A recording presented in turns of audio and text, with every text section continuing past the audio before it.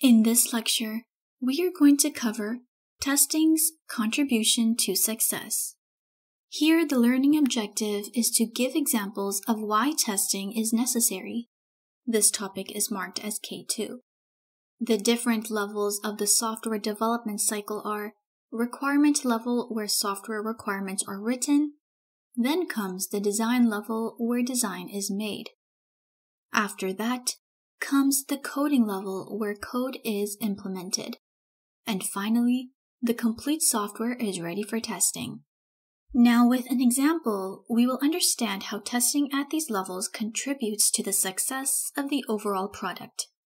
The first level is the requirement level. Here we will understand how testing during the requirement level will contribute to the success of the whole product or project. As we know, this is software development activities. In the requirement level, we start testing by reviewing the requirements. Reviewing is nothing but static testing, which means we are performing static testing on the requirements. We are doing this to detect the defects in these work products. Here, of course, the work products are just the requirements. So, why are we reviewing these requirements?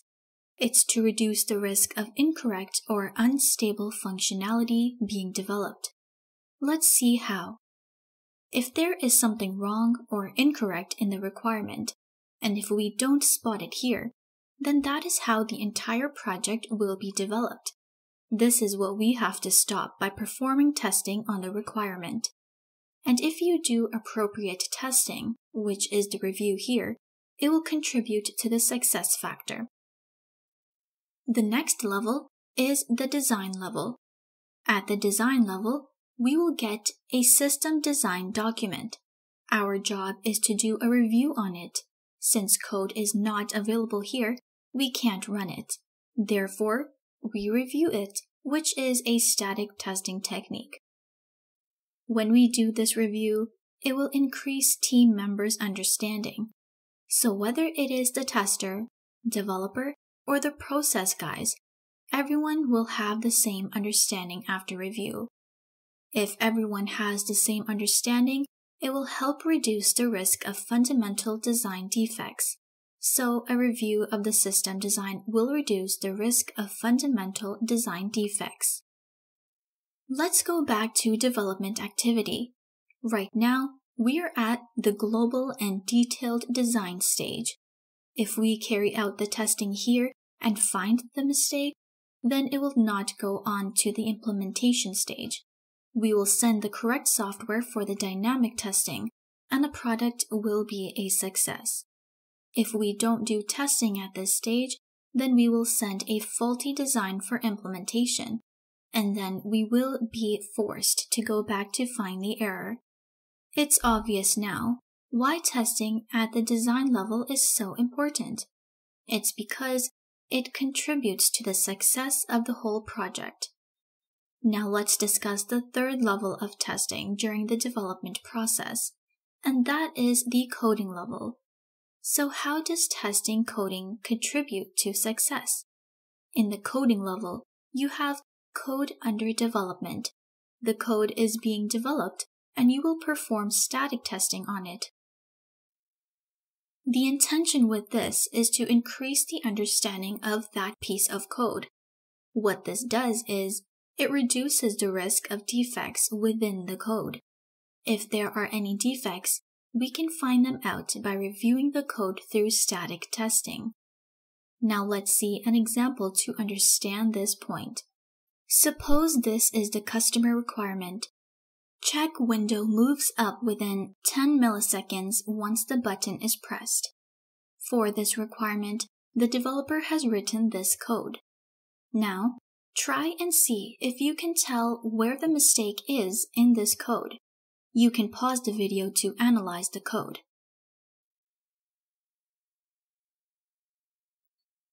Now I will show you where the error is here. The function looks right, but see here, the developer has written, if button is pressed for 10 milliseconds or less, then the window will move up. The requirement was for the window to move up within 10 milliseconds, not at 10 milliseconds. But the developer has included this equal to sign, which changes the result. Now, the window might not move up unless exactly 10 milliseconds has passed. This is how performing testing at the coding level can reveal mistakes in the code and contribute to the success of the whole project. Now let's discuss the final level of testing during the development process, and that is the software level. Once the software is ready, we verify and validate the software. Now that the software is functional and the codes are ready, we can perform dynamic testing on it.